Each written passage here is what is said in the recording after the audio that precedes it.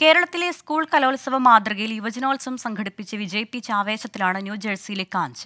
കുട്ടികളും രക്ഷിതാക്കളുമായി ആയിരത്തി അഞ്ഞൂറിലേറെ പേർ പരിപാടിയുടെ ഭാഗമായി. New York Pennsylvania Connecticut Delaware New Jersey സ്റ്റേറ്റുകളിൽ നിന്നെത്തിയ അഞ്ഞൂറിലേറെ കുട്ടികൾ മാറ്റുരച്ച മത്സരങ്ങൾ മികവിലും പങ്കാളിത്തത്തിലും ഏവരെയും അത്ഭുതപ്പെടുത്തി. കുട്ടികളുടെ രക്ഷിതാക്കൾ ഉൾപ്പെടെ ആയിരത്തി അഞ്ഞൂറിലേറെ പേർ സജീവമായി പരിപാടിയുടെ ഭാഗമായതോടെ കാഞ്ച് ഗോഡ് ടാലന്റ് ന്യൂജേഴ്സിയിൽ ഉത്സവ പ്രതീതി സൃഷ്ടിച്ചു. നോർത്ത് അമേരിക്കൻ മലയാളികൾക്ക് ഏറെ അഭിമാനിക്കാവുന്ന നേട്ടമാണ് ന്യൂജേഴ്സിയിലെ പ്ലൈൻ ഫീൽഡിലുള്ള മാക്സൺ മിഡിൽ സ്കൂൾ ഓഡിറ്റോറിയത്തിൽ വെച്ച് നടത്തപ്പെട്ട യൂത്ത് ഫെസ്റ്റിവൽ എന്ന് പ്രസിഡന്റ് ബൈജു വർഗീസും ജനറൽ സെക്രട്ടറി ടോം നെറ്റിക്കാടനും ട്രഷറർ നിർമ്മൽ മുകുന്ദനും ട്രസ്റ്റി ബോർഡ് ചെയർപേഴ്സൺ ദീപ്തി നായരും യൂത്ത് ഫെസ്റ്റിവലിന്റെ ചുമതലയുള്ള ജോയിന്റ് സെക്രട്ടറി ഖുർഷീദ് ബഷീറും കൾച്ചറൽ സെക്രട്ടറി ദയാശ്യാമും പറഞ്ഞു.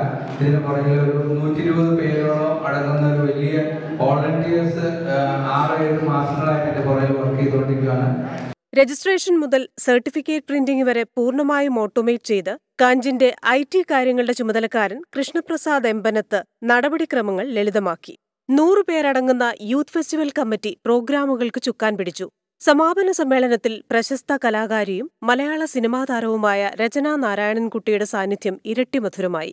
കാറ്റഗറി ഒന്നിൽ വേദാവിഷ്ണുവും കാറ്റഗറി രണ്ടിൽ ശ്രീയ രഞ്ജിത്തും കാറ്റഗറി മൂന്നിൽ ജാനിയ പീറ്ററും കാറ്റഗറി നാലിൽ സംയുക്ത വിജയകുമാറും കലാപ്രതിഭാ പട്ടവും ട്രോഫിയും കരസ്ഥമാക്കി. Twenty four U S A.